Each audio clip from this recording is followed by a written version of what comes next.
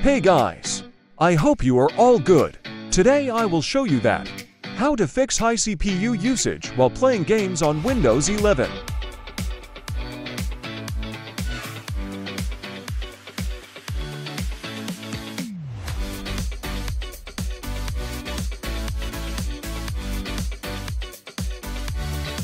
So let's start the video. Welcome to my channel TW Tech.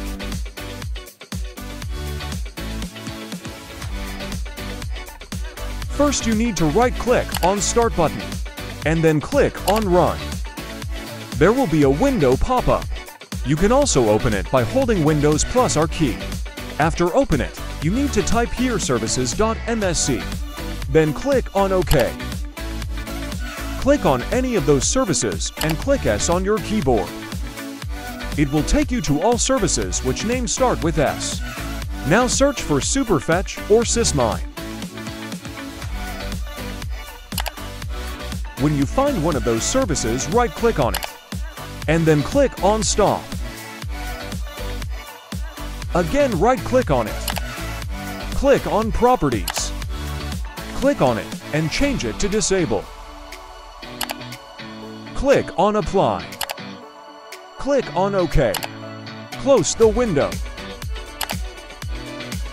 Open the Run window again. But now you need to type here sysdm.cpl. After that, click on OK. In this window, you need to click on Advanced tab. Click on Settings. Click on this option.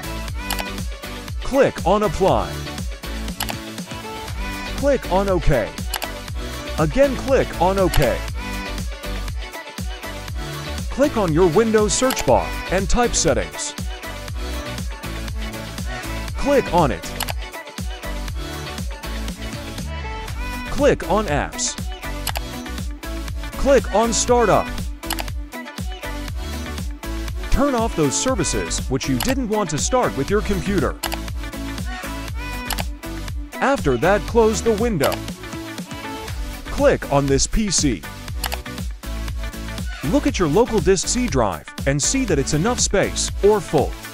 If it's full, you can see my another video that I provided in the description. It will help a lot.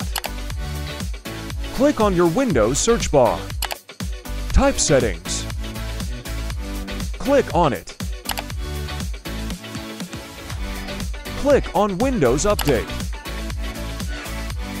Click on this button.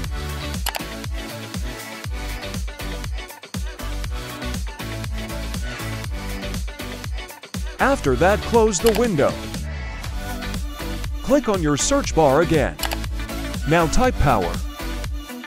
Click on choose a power plan. Click on this arrow. Click on it. Close the window. Click on Windows search bar. Type Windows Security. Click on it. Click on Virus and Threat Protection. Click on Scan Options. Click on Full Scan. Scroll down and click on Scan Now. After follow those steps, you need to restart your PC. If you're having any issue, tell me in the comment section. If you like this video, please like and subscribe to my channel. Bye!